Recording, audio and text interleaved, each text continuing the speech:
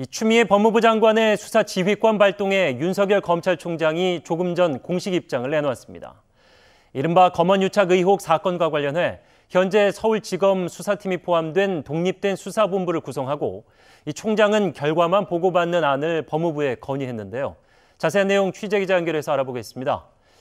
김하희 기자, 윤 총장이 추 장관의 지휘권 발동에 대한 입장을 드디어 내놓았군요.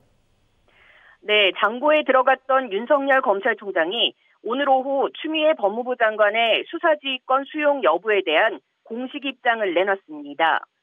압박을 거듭하던 추 장관이 내일 오전 10시까지 명확한 입장을 밝히라며 최후 통첩을 한 지 8시간여 만입니다.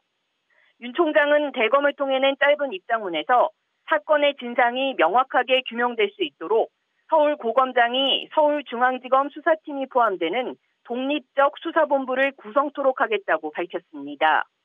이어 수사본부는 검찰총장의 지휘를 받지 않고 수사 결과만 검찰총장에게 보고하는 방식으로 공정하고 엄정하게 수사토록 하겠다고 전했습니다. 윤 총장은 법무부 장관의 지휘를 존중하고 검찰 내외부의 의견을 고려해 이 같은 방안을 법무부에 건의했다고 밝혔습니다.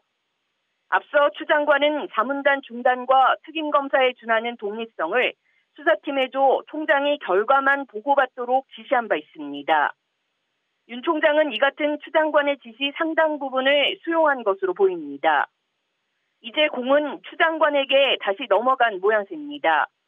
아직까지 법무부의 공식 입장이 나오지 않은 가운데 전면 수용을 강조했던 추 장관이 다른 카드를 꺼낼지 아니면 갈등을 봉합할지 주목되고 있습니다.